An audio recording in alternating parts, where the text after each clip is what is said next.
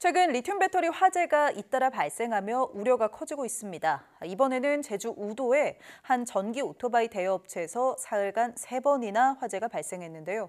모두 리튬 배터리를 쓰고 있었습니다. 주택가 사이에서 시뻘건 불길이 치솟고 있습니다. 시커먼 연기도 상당한데요. 우리나라 대표적인 관광지죠. 제주 우도에서 일어난 화재 사고입니다. 이게 화재 진압 이후의 모습입니다. 모두 불에 타고 뼈대만 앙상하게 남은 이것 무엇일까요? 바로 삼륜 전기 오토바이입니다. 관광객들이 주로 대여에 타는 이 전기 오토바이가 이처럼 불에 모두 탄 건데요. 문제는 같은 업체에서 운영하는 두 개의 오토바이 대여점에서 이틀 동안 세 건의 화재가 발생했다는 데 있습니다. 첫 번째 화재는 지난달 30일 이 업체의 보관 창고에서 풍소리와 함께 화재가 나 오토바이 한 대와 에어컨 한 대가 불에 탔습니다.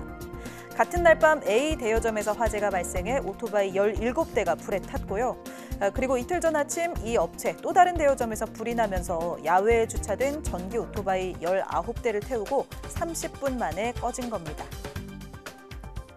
소방당국은 이 오토바이에 내장된 리튬 이온 배터리에서 발생한 화재로 보고 국과수의 감식을 의뢰한 상태입니다. 얼마 전 경기 화성 리튬 배터리 공장 화재 발생으로 인해 우리는 리튬이 물과 만나면 얼마나 위험해지는지 새롭게 알게 되기도 했죠. 실제 화재 당시 제주에는 장맛비가 내린 것으로 전해졌습니다. 최근에는 많은 전기 오토바이가 몇 번의 화재 발생을 경험한 이후 배터리를 리튬이온 성분에서 납산 성분으로 교체하는 추세라고 하는데요. 이번에는 다행히 인명 피해는 없었지만 피해를 사전에 막기 위한 조치들이 필요해 보입니다.